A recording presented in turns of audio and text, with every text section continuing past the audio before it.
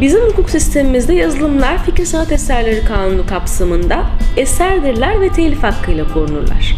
Patentlenemezler, patent koruması kapsamında değildirler. Dünyada baktığınızda çok genel olarak tabii ki istisnalar vardır ama Avrupa'da bu şekilde sistem geçerlidir. Yani onlar da telifle korurlar.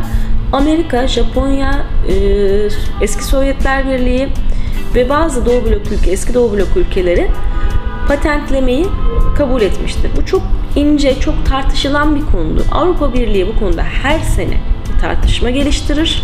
Hemen hemen her seferinde de e, ağırlıklı olarak yazılımın patentlenmemesi gerektiği konusunda bir karar çıkar. Burada yalnız bir yanlış anlaşılmayı düzeltmek gerekir. Bizde yazılım korunmuyor değildir. Hatta ve hatta bizim sistemimizde, Avrupa'daki sistemde çok daha kuvvetli bir koruma vardır. Birincisi patentle koruduğunuzda süre çok daha kısıtlıdır. Yani patentin tanınma süresine göre değişmekle birlikte 7 yıl, 10 yıl, 2 yıl gibi sürelerden bahsederiz. Bizde bu koruma 70 yıldır. Onun dışında patentle koruma sistemine gittiğinizde bildiğiniz gibi ciddi bir başvuru prosedürü, inceleme prosedürü ve buna bağlı olarak maliyetler vardır. Mesela Türkiye'de patent başvurularını Türk Patent Enstitüsü'ne yapmak gerekir ve bunları e, Ankara'dadır enstitü.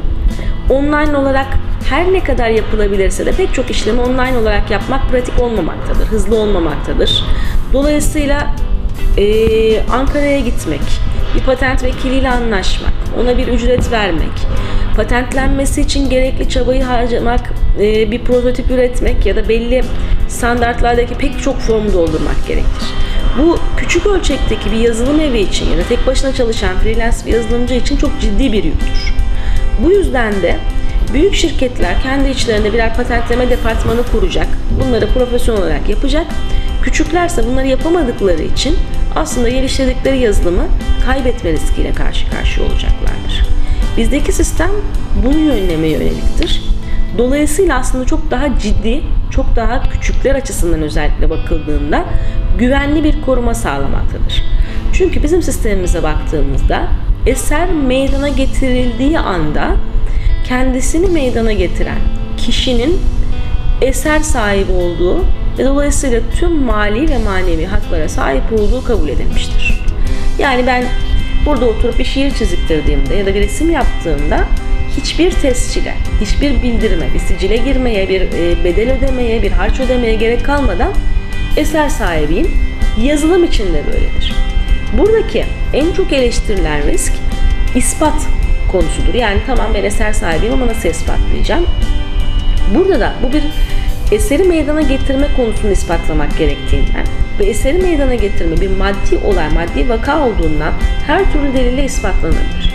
Biz uygulamada müvekkillerde sorun yaşadığımızda genellikle örneğin e, yazılımın aşama aşama geliştirilme aşamaları, tasarım aşamasından başlayarak bütün tasarım bütün aşamalarındaki yedekleri mahkemeye delil olarak sunmaktayız. Bu aslında o yazılımı o şirketin ya da o kişinin geliştirdiğini gösterir. Çünkü onu bir başka yerden aparan, başka yerden alan kişinin elinde sadece çaldığı noktadaki bir versiyon bulunacaktır. Onun dışında zaten tanıkla da ispatlanabilir bu tür şeyler. Bütün şirket çalışanları oturup biz yazdık, hep birlikte yazdık diyorlarsa bu da bir ispat meselesidir. E, müşterileriniz bu konuda tanıklık edebilir. Yani evet bu şirket geliştirdi, bize sundu, biz ondan aldık diyebilir. Dolayısıyla ispatla ilgili çok çok ciddi sorunlar özellikle yazılım aşamasında yaşanacağını zannetmiyorum. Diğer eserler açısından evet yaşanıyor. Yani bu şiiri ben yazdım, şu yazdı, bu besteyi o yaptı, o benden çaldı tartışması. Çünkü onlarda yapım aşamalarını ispatlamak çok kolay değil. Yazılım birkaç saat içinde ortaya çıkan bir şey olmadığı için mutlaka meydana getirilirken birileri görür, haberdar olur, bir iz bırakır ve ispatlamak kolaydır.